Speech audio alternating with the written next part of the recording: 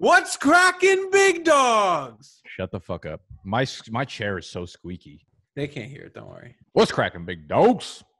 And they say I'm the one. We come to you because you are I'm don't- humbly. We come to you broken. We come to you deeply impacted by the coronavirus that is supposedly upon us. I haven't seen it yet, so I don't know if it's a real thing or not. It's a real thing.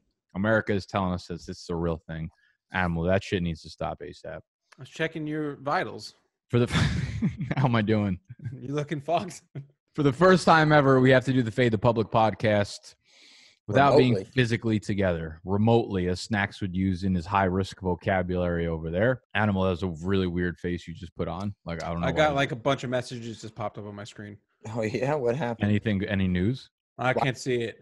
Why would you get a bunch of messages that just you mean you can't see it? at you once. just saw it. You literally just saw it. Well, it was the text messages popping up on my computer, and then but your your guys' faces are covering it, so I couldn't read it. It's okay. Let's go. Keep going. Don't worry. Okay. Well, uh, No- drop a comment if you don't if you don't believe animal because I don't either. Today we're gonna do a mock draft. We're gonna do a fade the public mock draft. We're gonna do Superflex 12 Version one. version one beta, 12 team Superflex mock draft. We're probably gonna do the first three rounds because if we try to do any longer, we'll end up talking for 16 fucking hours. And honestly, at this point, you guys might enjoy that because there's literally nothing else to do. We're gonna try our best to keep it concise, keep it precise, keep it coronavirus free. Fade the public, mock draft, V1, beta. Scott, Scott, you know what to do. The intro.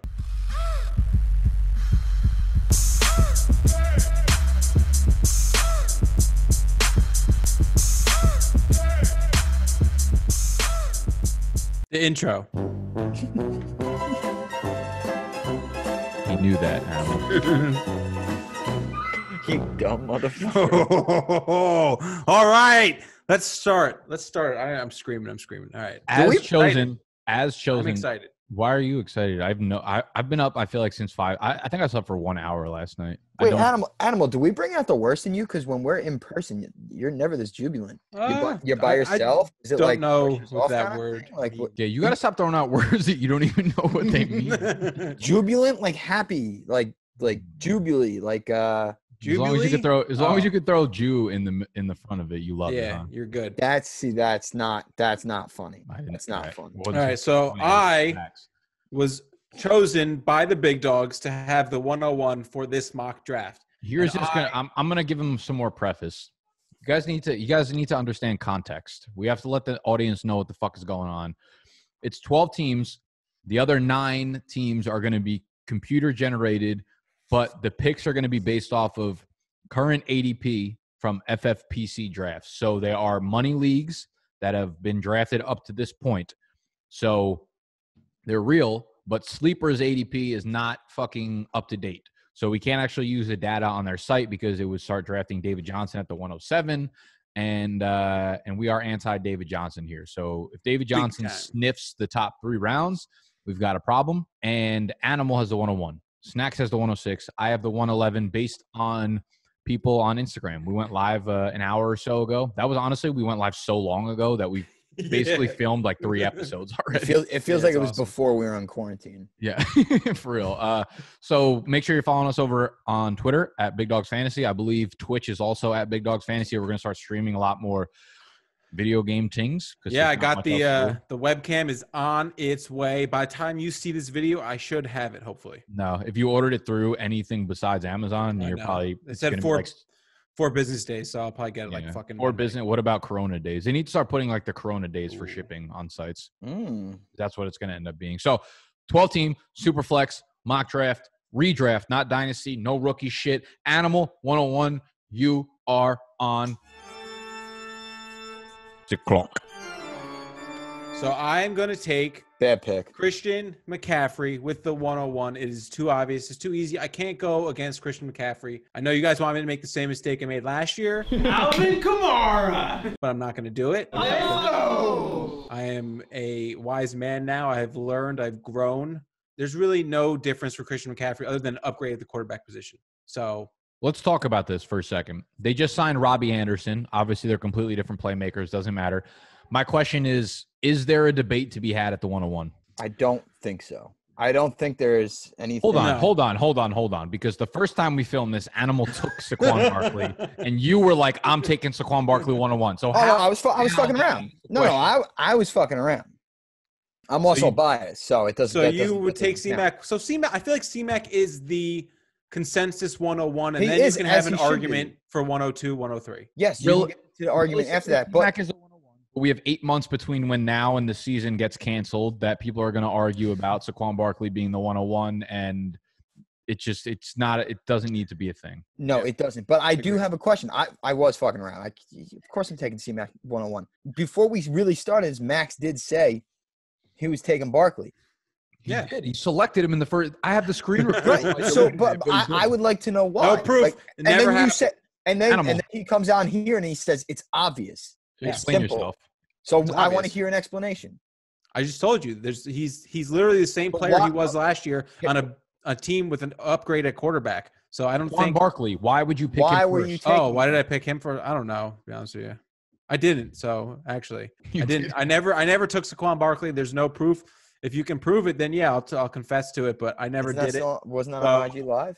No, he deleted it. IG Live is still up. You're fucked. Yeah, it never happened on IG Live though. So yeah, first overall pick Christian McCaffrey. Let's move on to the second pick.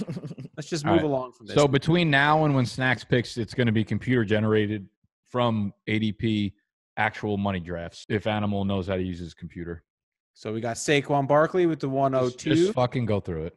I'm just gonna go off of this list here. Ezekiel Elliott at It's the super one three. too. So Yeah, I know. I got you. A Mr. Patrick Mahomes. So that leaves me up on the clock. I see you're correct. And what I'm going to do is I'm going to I would take and I know there's there's a new offense there, but I don't think anything's going to change and as long as he stays healthy, he's putting up monster numbers. I probably take him 103. I'm taking Dalvin Cook at 106. The man falls to me there and I am saying a prayer to St. Joseph and I'm living a great life and Dalvin Cook's going to run the ball about a thousand times. Animal, Look, that ADP look, has Alvin Kamara going before Cook and Lamar Jackson in Superflex. Uh, they're right next to each other. Cook is five. You just can't get away from Kamara, can you? Cook I is personally five. like so why would you Kamara. take Kamara at five? I'd like Kamara better. I think this year. I think Cook is. But it's not your pick. Alvin Kamara. Well, you told me to use my judgment. I told you to use ADP if it was like sensible. Like use that. That's the fucking. It's one. He's five. He's six. That's fucking. It's So RB use the one that's use the normal one, but don't be like I said. Use it in, in in case you need to pivot off of like Josh Allen, who is the 18th pick overall on this shit. Like you don't need to put him there. Yeah, but I mean four or five. That's But it's not up to you to like switch guys. If there's something that's if there's something that's out of bounds, that's like this shouldn't be there. went to the computer. I didn't even really pick it. You literally physically picked it. Yeah, but it's not for me. I'm just picking. It's four five. At the end of the day, I'm getting the steal of the first round. Well, because Dalvin Cook shouldn't be drafting, shouldn't be falling to five, and Snacks would have a good decision on his hands. I would. I had an easy one there. I can't. you- Animal, you're out of control. How? There's still Snacks, did I not say The this? number one before wide we receiver is still on We the did board. before- Max, I before literally you said when we get came to on. pick six, he's gonna do some dumb shit. The number one wide receiver is still on the board. Why did he take Dalvin Cook? I don't Because know. he's he's he's could be top two running back. Why wouldn't I? I'm, I'm taking that over a receiver. Fade the public is gonna uh, go downhill quick if we need to be remotely to do this every week. All right. Well, I'm gonna keep it going here. So just give me shit for more of these picks. Someone's getting a steal at 108 right there. With uh, let's see what Animal puts in for 108 before Travis we, de- Kelsey. before we declare that. Travis Kelce. So we're gonna we're gonna fast forward through the regular picks. Basically, we'll talk a little bit about the picks that we make, and then at the end, after we pick the first three or four rounds or whatever, then we're gonna go back back and break down, you know, what we saw in the draft, what we thought Animal did wrong, which is going to be the majority of the discussion. Okay, Nick. This is an easy call. I'm on the clock at 111. Too And- easy. You want me to make this pick for you? I don't even know who's on the board. I'm probably just like missing out on on people. It's very hard to locate like guys because they are they're, the order's all out of whack. I can't I can't think of guys that I like right now. Is it really uh, Kamara at four or five? Is it- they're you, no, you th- would I don't rather care. have. But I'm just saying, go off the fucking ADP. I am. I am. it I would am. make a better discussion if Snacks had to pick between the next six guys Well, and I did that- Cook. to be completely honest, I did that because he. I know he picked Cook in the, the first one we were doing, so I figured he would be able to keep that same. That was very nice of you, Max. You know, When you it's put easier it, for when him. You put, I- when you put I- it that way. That's why I did it. So he could just stay with the same pick and say what he said before and not, you know. That's I how I don't- I I do don't it. think he said anything before. Well, what does he ever say? That's a good I point. say enough. Mixon's off the clock. Henry's off the clock. Good for Mixon. I love Mixon this year. You want to trade for him in Dynasty? Yeah, but you won't give me something. We'll never come to an agreement, so it's just not Because you keep ordering, you keep asking for two downgrades. like you send a wide receiver running back for two guy, two wide a wide receiver running back that are worse than both of the guys that you send. I mean, it's debatable. I already I, I told myself I will never enter trade negotiations with you again. Ever. Why? We made a great trade. I feel like every trade we made, very fair. Yeah, we had very good trade. Um, The last two discussions were bad. Experiences. The, uh, we did. The last two discussions have been awful though. I don't know about that. I don't even know All what they were. I'm on the clock at 111. Uh, I'm gonna I'm gonna go with Tyreek Hill. Yes. Tyreek I feel like that was the move. wide receiver one. Uh, not much is changing there in KC. Demarcus Robinson is gone. Tyreek Hill is a fucking specimen that the NFL has never seen before. He is still the wide receiver one paired with the best passing quarterback in the NFL. It's simple. Run it. Wow. That would have been a real nice fucking first two rounds for you, Nicky boy. Yeah. Ooh. So Nick Chubb, Aaron Jones, a pair of running backs. I'll be honest, I was targeting A running back. Nick Chubb if he fell back to me. Uh, but the fact that he didn't, I put myself in a spot where I was. We got no running backs. This is a, a, a lesson to be learned, people. Learn from this right here. And what is that? I'm not really sure, but when you see all the you know good running backs, the, the top tier running backs, so hard to do this without a list. Gotta you gotta grab one. Gotta grab one. It's You bad don't have to advice. grab one. Uh, I think like you could make the case for taking Chubb there instead this of is. Hill.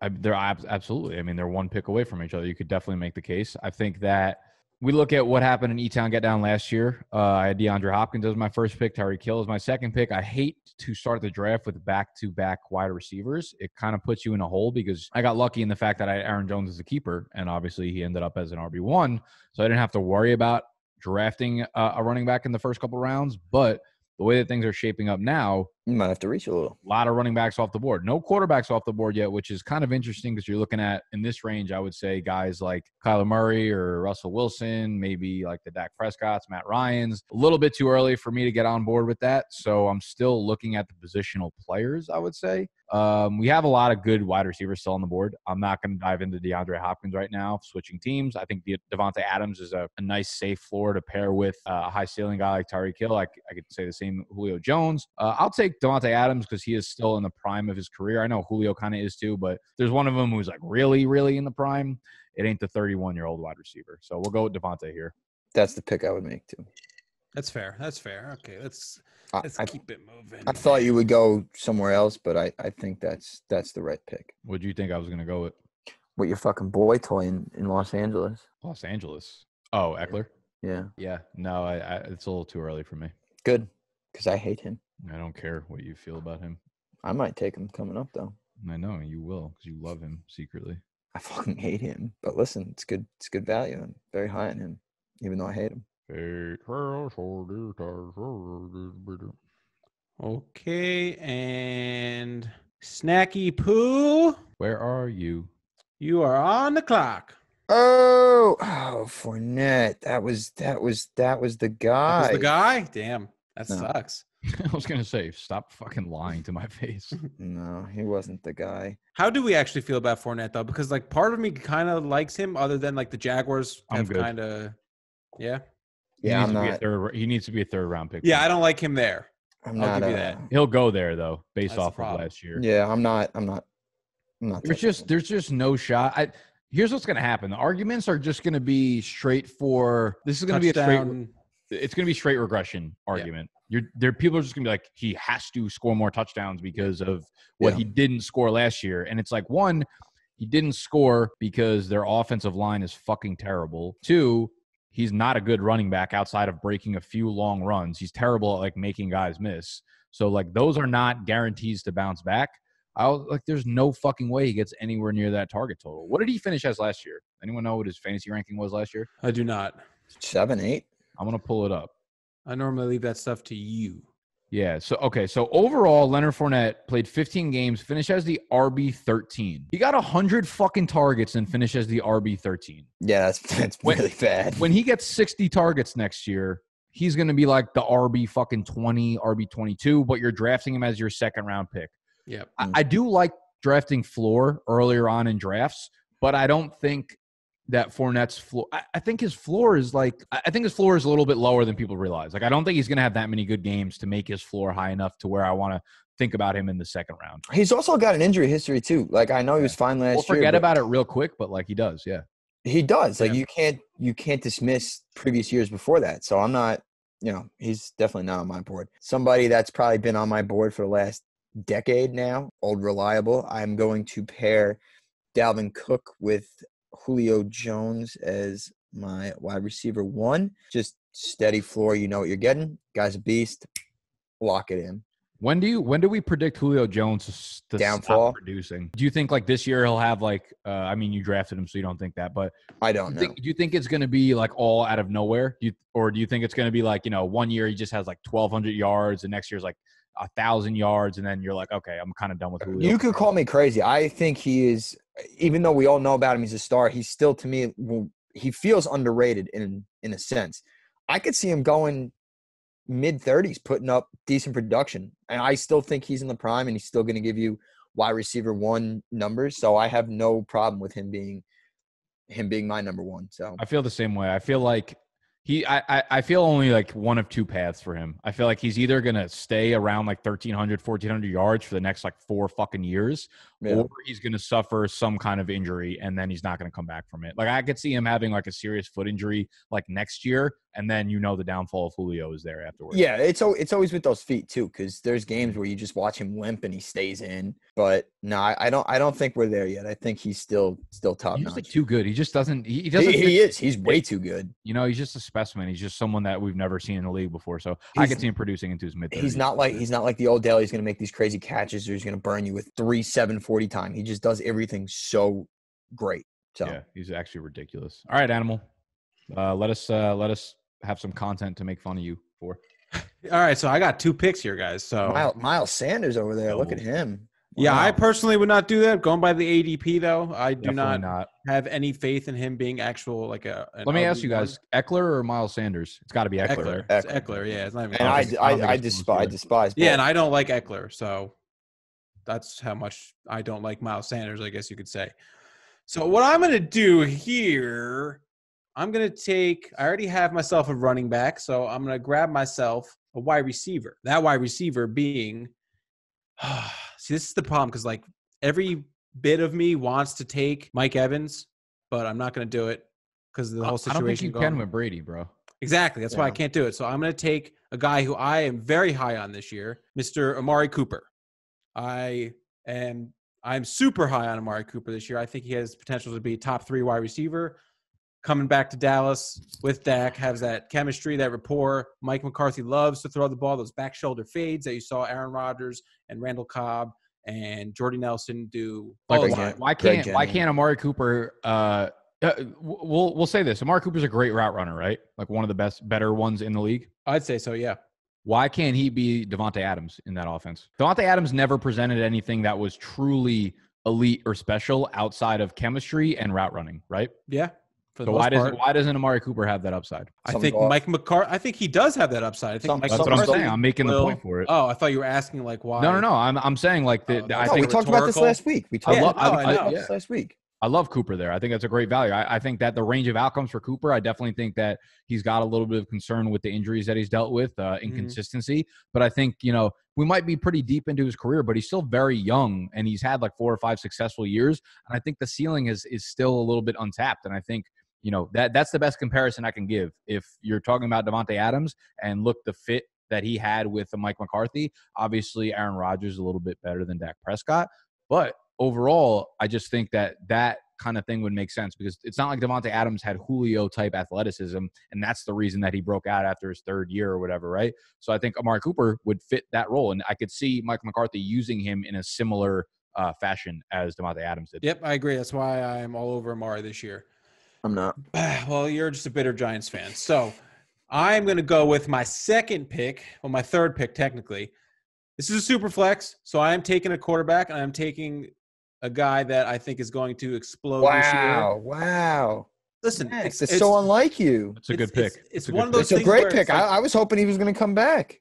Yeah, I, I, well, here's my thing. I have the on the wraparound here. I'm not going to pick for you know 20 picks or whatever. So I got to get my quarterback now, possibly the QB three. So Kyler Murray, I am predicting a big, big uh, step forward this year with the new weapons in DeAndre Hopkins, the improvements that they're probably going to make in the offensive line. Second just- year in in Kingsbury's system. yeah, just second year all the- around. You just know that Kyler, there's there's room to grow. yeah. So I'm hopping on the train now. I'm getting involved now. You're doing it too because remember we both said Lamar Jackson, eh, not fans.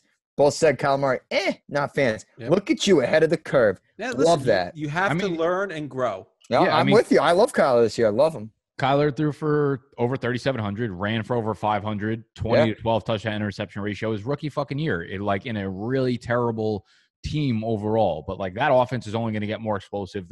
There's just it, And the, you got combination of floor and ceiling for him next year is and you got to figure upgrades are coming in in the draft. So, and offensive line, like, because that's that offensive line still needs work. So, once they start patching that up together more, yeah. You got you got to love Yeah. Kyler's outlook. So I think yeah, I think that's exactly the right pick. I think when we get closer to real drafts, we'll probably start seeing Kyler creep into the second round. I could see like if if you ask someone straight up, would you rather have Chris Godwin or Austin Ekeler or Kyler Murray in a superflex league? I think looking at the ADP right now, it tells you that it's Ekeler, Godwin, Murray. But if you ask someone that question, I think a lot of people would probably side with Murray. In a I would probably side with You know what I Murray there. Yeah. So I think uh, once like real drafts start happening and people get more and more invested into this kind of shit, we'll see Murray start to creep up. Uh, he won't get near the Mahomes and Lamar, but he's in that tier like right behind it. Like, who do you Yeah, think yeah, should go yeah. here, Juju or Mike Evans? Neither.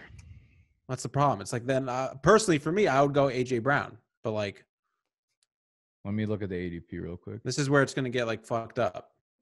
Because I also want to match to the teams too. I don't want to like have someone draft three running backs. Yeah. So this guy's looking for a receiver, quarterback, or tight. Well, Yeah. tight end's probably. Not Tight end. I was going to go Ertz, but like, Eh, I mean, you can go at Evans here. He's who's the other Yeah. one that you were looking at? Evans or Juju. This ADP is all fucked up. I don't even see Juju on the list. Yeah, well, he's 15 ADP, 15.8. He's 16 on the ranks Yeah, fuck that. which list? on sleepers. Oh, sleepers. I thought, I'm looking at the list that Nick sent in the, the chat. Oh, Juju's Yeah. deep. On, he's he's deep Yeah, on that. I think deep. Evans is probably a good one. I think you can make the case for Thielen here too. Now that Diggs is gone, for people. Evans. DJ Moore actually is. I'm probably gonna go. Oh yeah, yeah. DJ Moore makes sense too. I'll go There's Evans. two fucking guys I was thinking about taking, boys. Sorry, yeah, go go Moore, Evans, go Thielen too. Good Christ! Ah, I'm sure. That is- baby. That Nothing is that's that's not that's not right. Nothing gets past me. That is that's kind of bullshit, honestly. I mean, if I'm going by this, then I'll just go. Probably throw Kenyan Drake somewhere. He's too. coming. He's coming. Zach Ertz? No, fuck that. Take Zach Ertz out of the He's- third round. Take him out. This is You a, know? that's a tight end Yeah. premium ADP. All right, Snacky Poo. Yeah, this is We're on the um, clock. Oh, Singletary, Moore, Evans, Drake. All right, that's that's solid. That's um, uh, I tell you, the guy at one one hundred five really really loves those running backs. So, um, you know, when we the the, the first year, Some people have strategies. Last Yeah, year was no running back. Maybe that guy is all all running back. I don't hate it. I love running We backs. ten minutes remaining. Don't okay. I, I got plenty of time. Yeah, I don't. When, our first year doing Fade the Public, I had my eyes set on one guy, and I rode him all year. And I think with the number, probably the most talented receiver leaving on his team in Stefon Diggs, John uh, Brown? Adam, John Brown. Adam Thielen, Adam Thielen is a perfect complement to Julio Jones here, and that's where I'm going to go. Uh, Thielen is a he's a monster. Perfect He's Kirk's- compliment and the fact that he's old as fuck and probably going to be terrible when Julio's good. Okay, no, I don't. I don't think that's the case. I think I think Thielen's a stud. Ah, fuck! I took Dalvin Cook too. I forgot about that. You're a Minnesota fan now? No, I'm not Minnesota. Wow, this fan. guy's just not even paying attention, huh? No, it wasn't that. It's just too too good. Like I I, I see I see great value in Thielen there. So So, was so I think this is pass this is a talking point right here. Do you take when you're drafting in a real fantasy draft? Are are these things that you look at? Do you look at value over a situation like that, like if it, would you skip on Thielen because you already have Cook, or because Uh, he already has good value? Like If I'm going, if I'm going in real time, it's going to be really hard for me to because I like Thielen early, first, late, second. So if I'm getting him in a 12 team. Wait, well, hold on. Repeat that. You like you like Thielen? You said you said like early, early third, late second. Sorry, Okay. and I'm almost even talking like in our E Town league with 10 guys. So I like him even more where I'm getting him here. And Cook and Thielen are the one, two in that offense. Obviously, there's going to probably be days where one of them does not perform and I get screwed on one end, but I think I take my chances. And I'm not going to regret my pick of my Lord and Savior Adam Thielen at so you're cool. You're cool with the value over the teammate thing. I think I, I I am, I am cool with the value. It for my for my personal belief, my personal ranking, feel, getting feeling there, I like it a lot. I think it makes I was sense. thinking about Russell. Uh, sorry, I was thinking about Russell. I was thinking about Juju, but because Yeah. I I like Juju in a big bounce back year. I was thinking about Russell, but I went. So I like Juju too, but are you like I'm terrified that Ben's just going to be in a walking boot again? By yeah, the- hundred percent, and that's Yeah, why I'm not trusting it. like that's is that not a fact? I wouldn't say it's a fact, walking but the, it's a it's a very high probability, and it's at least something uh, you need to factor into it. And I'm with you, Nick. Like I, I think it's okay to draft teammates, especially it, it's scary doing that early on. But if It you're in an offense where you funnel a lot, if all the touches go to a select few player, basically like Yeah. the Vikings offense ran through Cook, Diggs, Thielen, and right, now exactly. And is one of them's gone. So Right. you have to So, like, figure their whole 60%, Yeah, that's like- going like you would feel fine if you could get Kamara and Thomas on the same team because those are like the two main primary guys on the on the offense. So Yeah, like, no, as long no, they're the main, I wouldn't. I wouldn't feel good with Kamara anywhere. stop that. What's with all this Kamara slander? Alvin Kamara. The guy had a high ankle sprain, didn't he? Well, Yeah. Give him a break. It almost comes back to like Max. I you were talking about taking like AJ Brown on your turnaround in round three because you really like him there. If I had Henry, he's a guy that I'm probably not taking. I'm not stacking Henry and, and AJ Brown. Just me. Because their offense goes one way or the other. It does, it Yeah. doesn't Exact- fu- yeah, It- yeah. It's exactly. not every single game that they're with with the. Vikings, if it's a cook game, I can still probably expect six, seven, eight catches from Thielen, and I'm going to get a floor of like 10, 11 points. So I'm not going to be too too deflated. Their offense runs directly through them. So I'm taking the value there, and I'm not mad.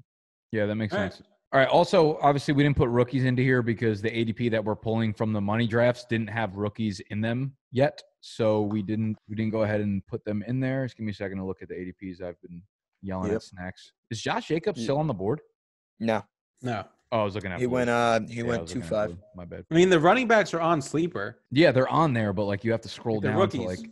Yeah, but like Yeah, you yeah, have your. ADP, you can. I'm I'm, not- I'm gonna no, put them in here if we get to it. We're not going to put the rookies in just because they would have already went already. Like no one's taking fucking OBJ over Jonathan Taylor in a redraft league. Well, that's true because we don't know where they are. Oh, no. No, we don't. It's just yeah, it's kind of useless to put that right now. Snacks, what are you doing? Snacks dead? What? Hope so. Why are you showing us your fucking dick? Yeah, what are you doing? Oh, I hit my screen down. I'm sorry. Yeah. uh, okay. Jacobs off the board. Clouds? Like any good running back Stupido. stuff. I've gone two wide receivers right now, and since it is super flex, I tend to want to leave the first few rounds with a uh, quarterback on my team. Unfortunately, the four guys that one of the four guys that I really want on my team have already gone off the board: Mahomes, Jackson, Kyler, Russell Wilson. I think there's like a very real debate to have with who is the quarterback five going into next year. A lot of people will put Dak, uh, and I do, I do like that because Yep. again, like Animal said, like they only he, he set career highs around the board, uh, across the board. Threw for over 4,900 yards last year. He gets Amari Cooper back. Now he gets Mark Mike McCarthy there, and they threw for 58% of their passes. That is only going to go up. That was still like bottom of the league. I wouldn't be surprised if it went to like 62 or 63. So I would probably think about taking Dak here just to secure my quarterback one. Other guys I would Is probably. your other, is your other quarterback Josh Allen? What do you mean?